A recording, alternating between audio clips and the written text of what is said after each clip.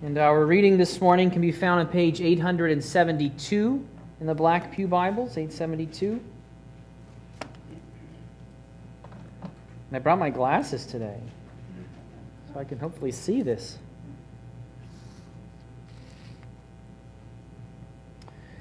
Luke 12, our reading this morning, picks up at verse 49. Luke 12, 49. Jesus says this I came to cast fire on the earth, and would that it were already kindled. I have a baptism to be baptized with, and how great is my distress until it is accomplished. Do you think that I have come to give peace on earth? No, I tell you, but rather division.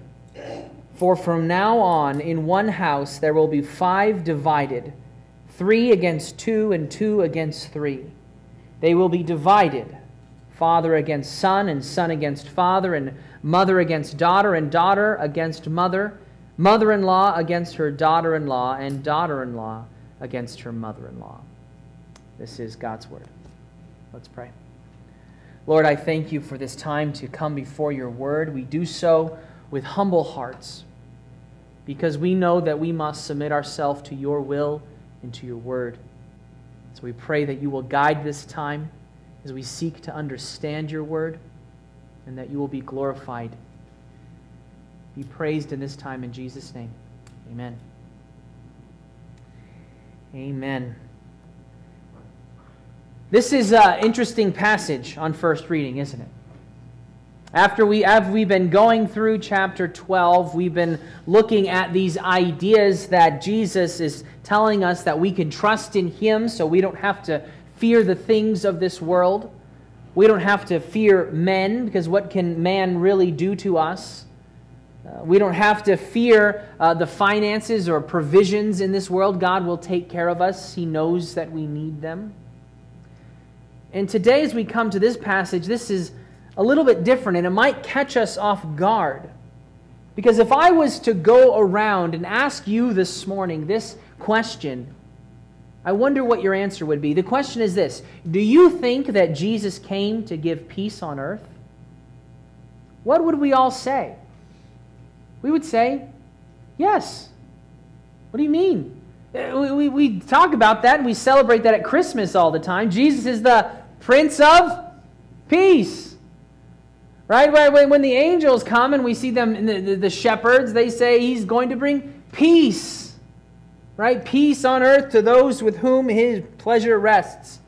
Right? We, we, we know that Jesus even says in the Sermon on the Mount blessed are the peacemakers.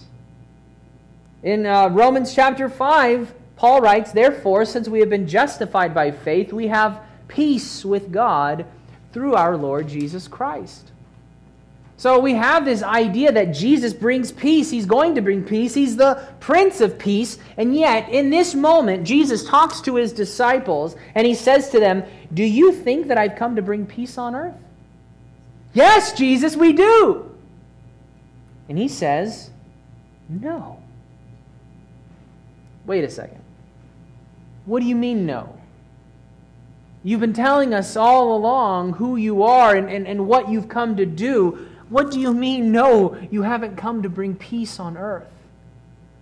You see, one of the things I think Jesus does over and over again is he subverts our thinking. He flips it upside down because he wants us to understand things at, at, a different level than we normally do. Because it was pretty commonly held that when Messiah comes, he's going to bring peace when Messiah comes, he's going to get rid of these people who are bringing persecution to the people of God. He's going to bring in that kingdom that we've been waiting for, that's going to conquer all, that's going to be God's kingdom on earth. What do you mean? You're not here to bring peace. I think Jesus is trying to point to something a little bit deeper in the heart of man. Because, you know, there, there's been times throughout our Bible, uh, times where it should say the end, and they all lived happily ever after. But it just doesn't. Right? One of the first places that that seems to happen is in Genesis uh, after uh, Noah's time, where we see that God creates, then sin enters the picture, and there's this, you know, everything's turned upside down. We see the first murder with Cain and Abel, and, and then time goes on, we see Cain's line and all the stuff that comes out of there. And but once you start getting to the lists in Genesis chapter 5, we have Noah's father speaks. And Noah's father says, Perhaps this one will give us relief. Because all along, generation after generation, the promise that the seed of the woman will crush the head of the seed of the serpent, one that would come and that would fix all this mess that has been created because of sin. They were waiting for that promise. And so Noah's father says, maybe he is the one who will bring us relief. And it seems to be that way for a while. God calls on Noah. He, he makes a special promise with him. He tells them him that he's going to build this ark and God's going to bring punishment all over the world. And after they get off the ark, after evil's been eradicated, so we think, he says to him again what he said in the beginning Be fruitful, multiply, fill the earth, and subdue it. Okay, the end. They did that and it was great. Our Bibles should be like this big. But the problem is is that even though the outside things look clean, sin was deep down in the heart of Noah and his son still. It remained. So Jesus, I think in this passage here, he's trying to have us really think first and foremost what is peace? What is peace? And if it doesn't reach the point of the heart where we can have first peace with God, then it's not true peace. I think even before he gets to that verse there in verse 51, where that's the trickier one, it helps us to understand this by looking at the beginning of the passage. So, the, the, my first main idea here is uh, what Jesus came to do in each of these main points. The first one is he came to cast fire. That's what he says of himself. Verse 49 I came to cast fire on the earth and would that it were already kindled. Jesus says, I came to bring fire on this world, and I wish it was already blazing. I wish it was already starting and already going. Why? Well, fire is often seen as judgment in our Bibles. That's an easy one. So is he talking about the last judgment when fire then will destroy this world as water did at one point? Possibly. Fire is also used as a way to talk about purification. Right, when we look at precious metals and we purify them by fire in order to get rid of that which does not belong there, to make it shine better, to make it glow the way it's supposed to. I think either way we look at it, what Jesus is looking forward to is the way the world is supposed to be. Jesus is thinking of forward to when all evil, wickedness, the things that are wrong in this world are made right. And that's a good thing to look forward to. In fact, I think we all should look forward to that. We should sit here and from time to time go, Oh Lord, bring that cleansing fire, bring that fire of judgment, because we want this world to be the way it's supposed to be. Because there's too much evil in this world, there's too much wickedness in this world, there's too much hatred in this world. And, and from time to time, it only seems like it gets worse and it depresses us when we turn on the news and we see how people treat one another, how wars continue to happen, how there's hatred that should not exist. And yet, that sin still lies deep in the heart of man, and so it's still here. So it doesn't matter how technologically advanced we get. It doesn't matter how much superior thought we have than, oh, the people in the ancient times, they're just, you know, superstitious people. We're smarter than them. We know better. And yet, do we do any better than the people in the ancient times? Do we treat people any better? Do we love any more? We don't. This world is just as bad as it has always been. In fact, it just travels quicker. Now, the, the evil in this world can travel a lot quicker than it has in the past. Jesus is looking forward to the good future when God rids this world of sin once and for all. Fire can be destructive, but fire can also be used for good. The same fire that destroys also purifies. And so, although Jesus says that he's come to bring fire on the earth, that sounds like a negative thing. Right? That sounds like in this direction where, okay, that's like a bad thing. We know it's necessary, right? We know that judgment must come, but fire on the earth doesn't sound like a good thing. And yet, God can use even those types of fires to bring about the good thing. A helpful passage is Malachi. If you want to open your Bibles to the book of Malachi, chapter 4.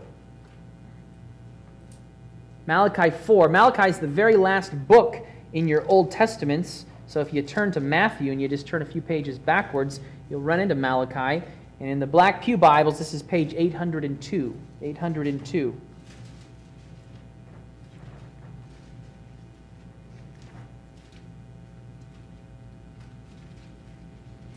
As Malachi is prophesying, he's uh, being God's mouthpiece to the nation, telling God's people that it, it's not about what they merely do on the outside that God cares about. He cares about their hearts. That's how he begins this book. He then looks forward. My Bible has a heading there to the great day of the Lord. He looks forward to when God again is going to bring about that fire upon the earth. So in uh, Malachi 4, verse 1, the prophet writes this For behold, the day is coming, burning like an oven when all the arrogant and all evildoers will be stubble. The day that is coming shall set them ablaze, says the Lord of hosts, so that it will leave them neither root nor branch. Now, pause there. In verses 1 and 2, he says, That day is coming, burning like an oven, and it's going to bring destruction to all the evil and wickedness in this world. He says it doesn't leave them root or branch, meaning even deep down to the roots. So you know it when you go out and you use the weed whacker to cut your, your weeds, they're coming back. You've got to get down to the roots. And that's what Malachi is saying here. That's what God does. So even though throughout biblical history, through redemptive history, weeds have been cut like this, but the roots have stayed.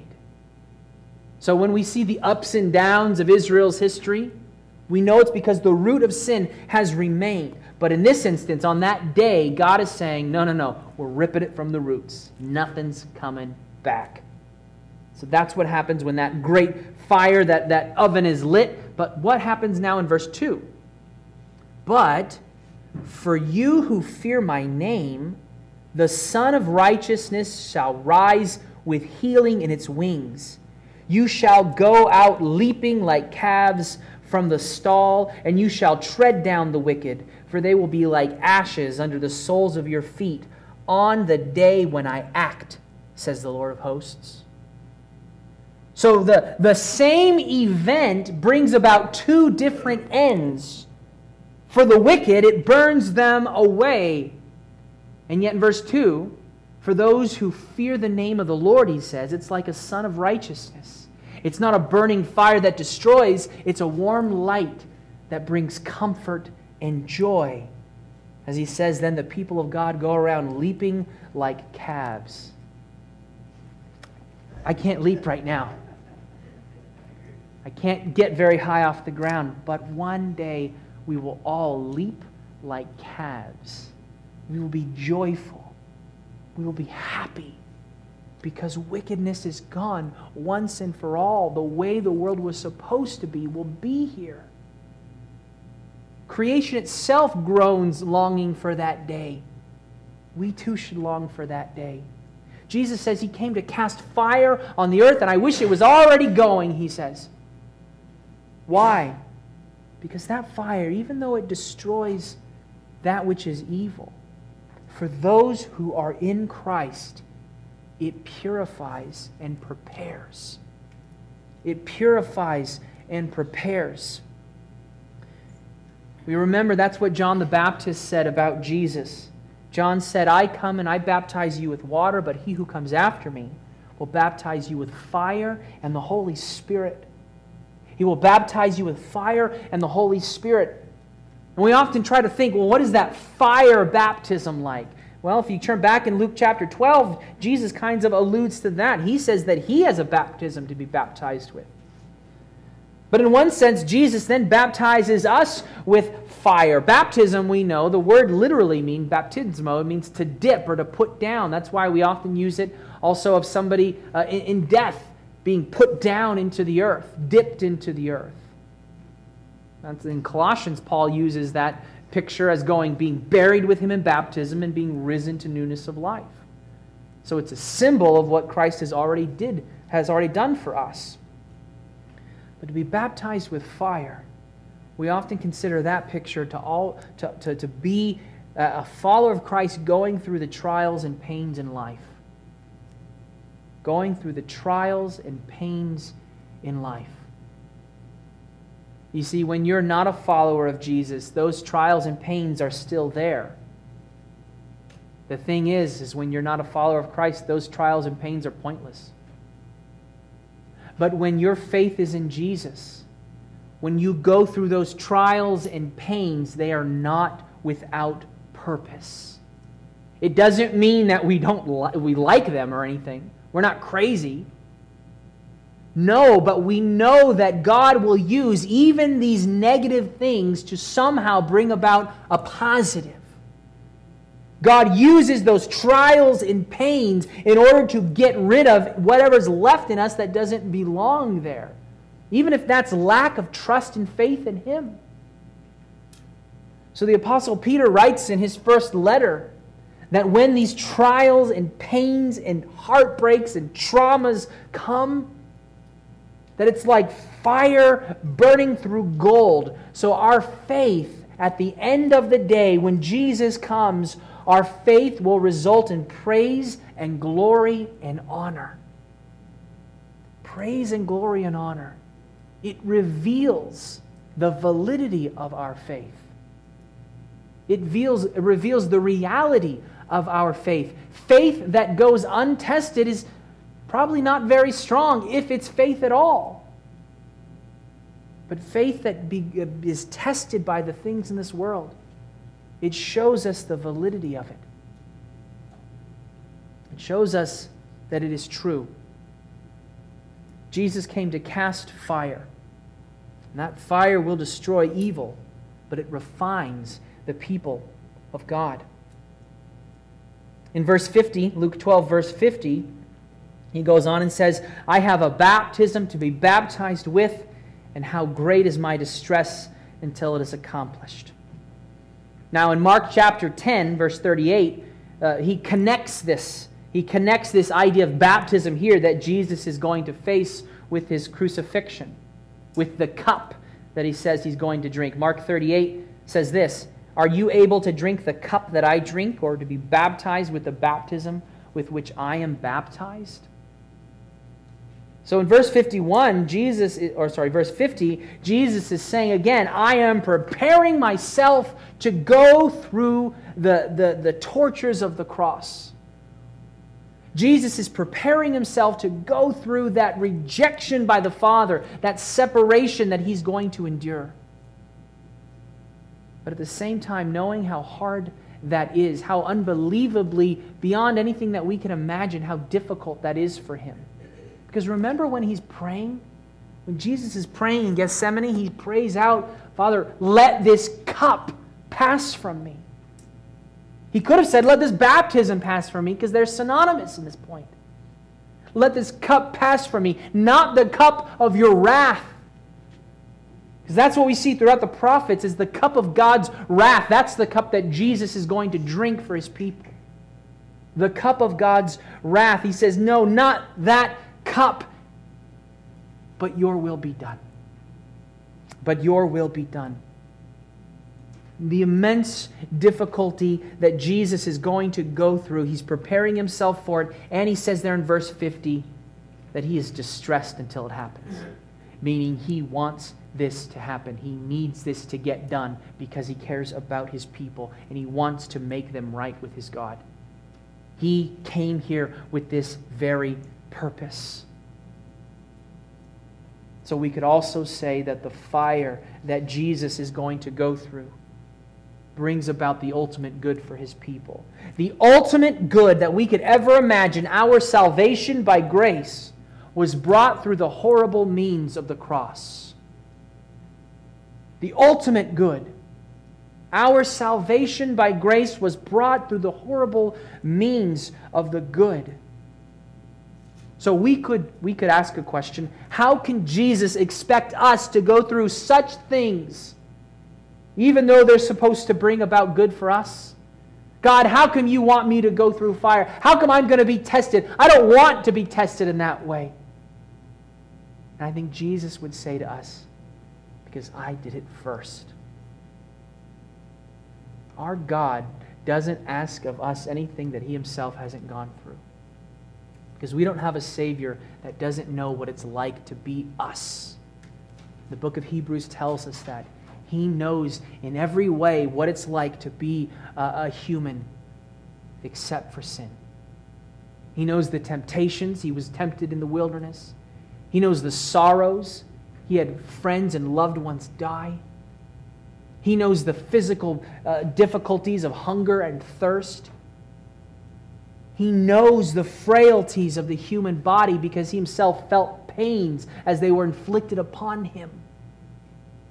And yet he willingly went through all of that because he knew the purpose at the end of it all. It was not without purpose. The fires that Jesus went through had an ultimate good in the end, and the fires that we go through have an ultimate good in the end.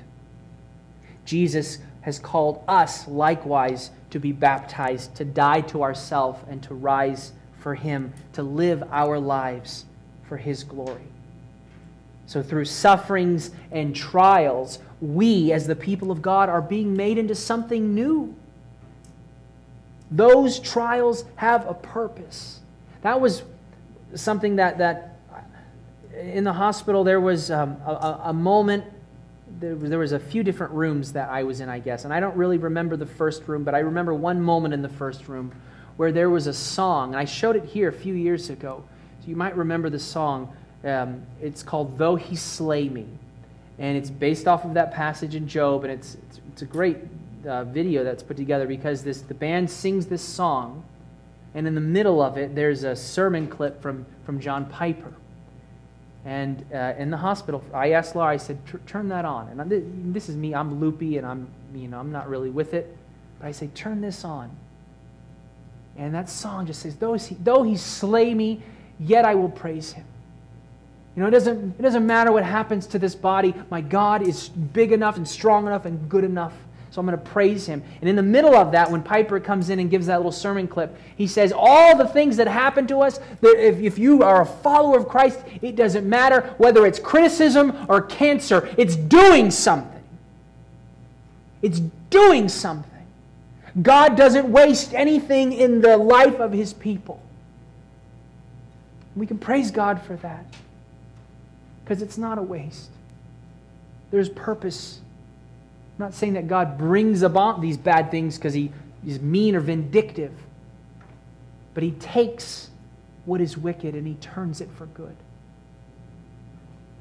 A few months ago, as I was reading um, some books on the connection between the arts and theology, and I came across a, a painter, I forget his name right now, but a painter who, who studied uh, Japanese paintings, techniques, and stuff, but he has written some books that, that say how, how we as, as believers can use some of these ideas. Um, and he introduced this idea of, uh, of a, a ceramic bowl that they have in Japan that are broken, but then they are mended with a lacquer mixed with powdered gold. It's called kintsugi. And it's a 500 year old Japanese tradition where they take these broken bowls and they bring them together with this gold. And you can look up pictures of these, they're really cool.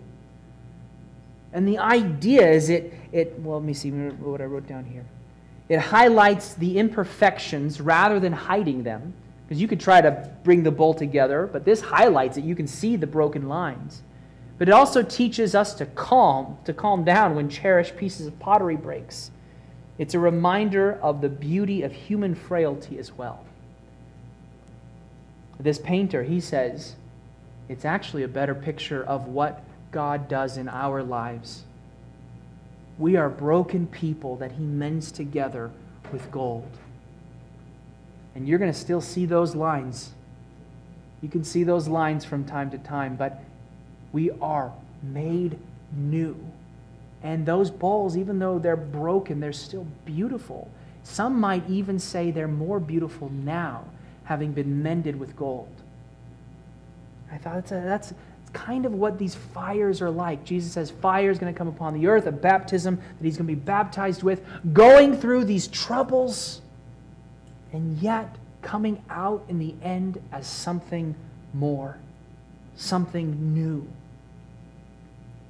Which then brings us to this question in verse 51 Do you think I've come to give peace on earth?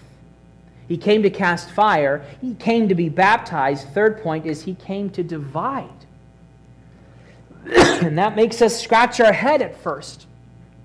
Because the examples he gives are close family examples, division in important family relationships. You go, Jesus, really? Is, is that uh, something that you've come to bring? Now, first we have to mention Christians don't seek this. Right? You don't go to your mother in law and say, Jesus says we're going to disagree, so ah, I get to. I don't think that's what he's calling for.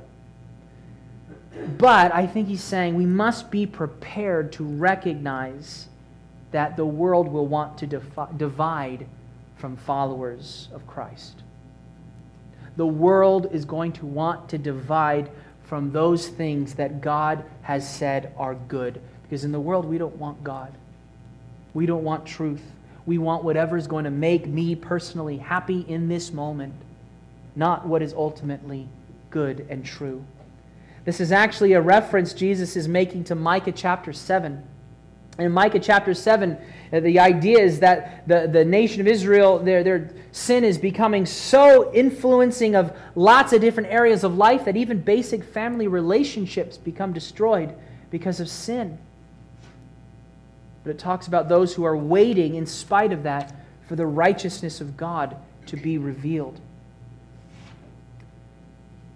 While divisions will come because of our faith in Christ, I think we don't have to fear division. We don't have to fear division. And I want to give you just three reasons that I think that this is uh, important as we close here this morning. Fear not division, because first, division, we are divided from our past lives before we come to know Christ we are divided from our past lives of sin. And this gives us hope that God's work in us is real. If when you become a follower of Christ, you can look around and you can say, My circles have changed. My circles have changed. I no longer am going in this direction, but now I'm going in this direction because God has changed my life. But friends or family who have gone in this direction for so long, now they don't care to be with me because my love now is not for the things of the flesh, but for my God. Division gives us hope that what God has done in our heart is real. The other day I was feeling a little nostalgic and I um, found some. Uh, it was a long time ago now. I don't even know. 15 years ago, I uh, was doing this, this web series of episodes. It was a, a little show called Stand Up Guy. And I, uh, I was the, the main character. I, my name was Jeff, and I was a, a stand up comedian, a part time stand up comedian, is what Jeff would say. And I, in order to make ends meet, my friend and I began working for the mob. Ooh, right?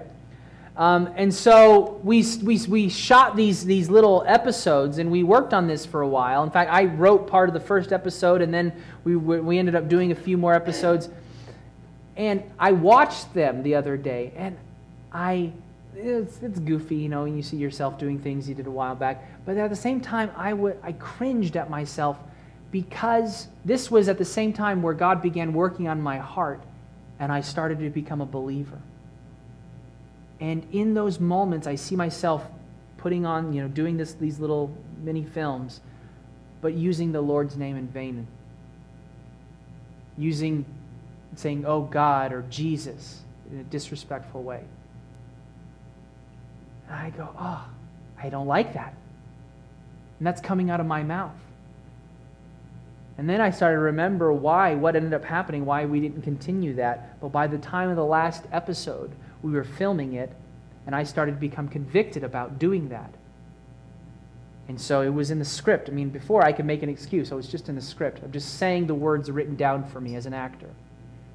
But I changed the words in the last script. I wouldn't say that. And people got frustrated with me because I wasn't telling them I just was like, oh, yeah, oh, it says that, okay. And then I would change it when we were filming. But by that time, the whole thing started to peter out because this, our roads started to diverge.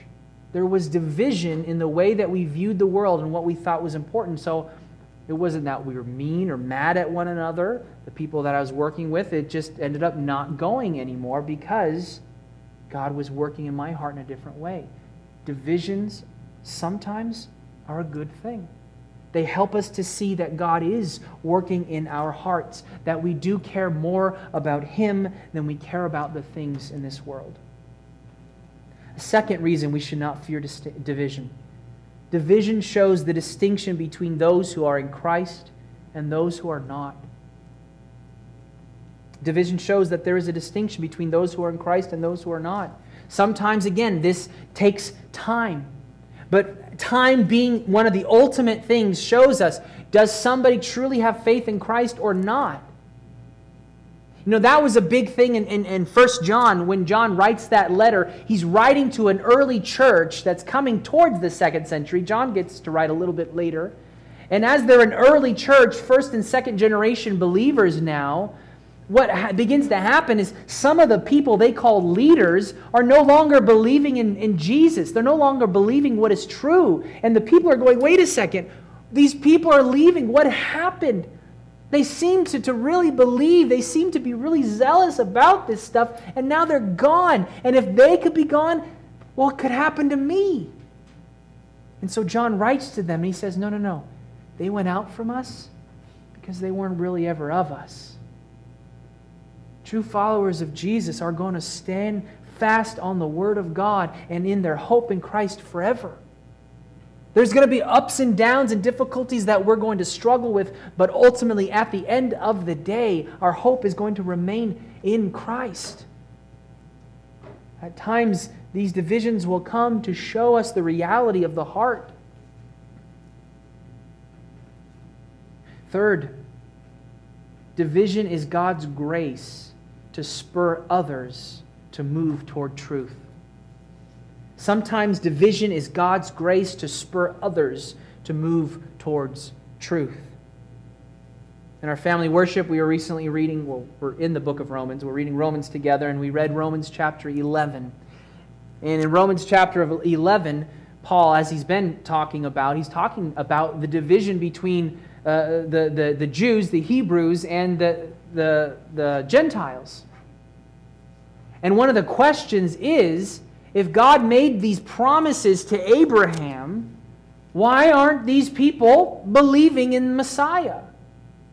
Paul says, I'm a Hebrew, I'm a Jew, but there's a lot of people who aren't believing in Jesus as the Messiah. He is the Messiah. Why aren't they believing? And so once he gets to chapter 11, one thing he says is, he says, by, uh, well, one, there's a grace of God because the partial hardening of the hearts of the Jews is to bring salvation to the Gentile world. And two, it's because God is showing grace to the Gentiles. I love how Paul says this to make them jealous. To make them jealous so that they will see there's something going on here. What is happening here? And then that God would bring them to also believe in Jesus as Messiah. Division at times is grace to spur others to move towards truth. So when the world sees the way that followers of Christ handle tri- tribulations and persecutions and traumas and trials, they should see that there is a difference. That there is a difference that we go through those fires. Everybody in this world is going to go through those fires. But there's a difference for the people of God. Because the people of God know that there is purpose, and ultimately, God will bring about good in this situation. Maybe not today, maybe not tomorrow, but I'm in this for the long game. I'm in this for the long game. And He will bring about good. We don't need to fear division, but trust that Jesus is in control. Right? The world is not always going to like uh, followers of Christ because the world wants to be its own Savior, its own God. Divisions will come, but we must be prepared to see them for what they really are. Hope for us that our, our faith is real. It shows a distinction for those who truly are in Christ and those that we still need to preach the gospel to. Now, I think sometimes when we see that some have divided and separated themselves from the people of God, we can't go, oh, but I know they made a profession of faith at one point. No, we go and we continue to share the gospel with them. But it's also God's grace to bring others towards Himself. This is God's word to us.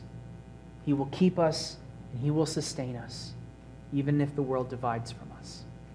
But that makes it ever more important that we, as the people of God, don't divide, but we stay close together. Let's pray. Lord Jesus, I praise you for your word. I praise you for this truth that the peace that we seek is not peace the way that the world understands it, but peace the way that you have taught us. Peace first and foremost with you, peace with our Creator, peace that causes us to live life in a different way. So help us to seek after true peace, not a peace that simply appeases the sin of the world, but peace that changes the world, beginning in the hearts of men and women everywhere. We praise you, O God. We worship you, knowing that you keep us in the palm of your hand. And we pray that as we see divisions, Lord, that it will help us and cause us to share your truth even more with others who need you. Thank you for this time. In Jesus' name, amen.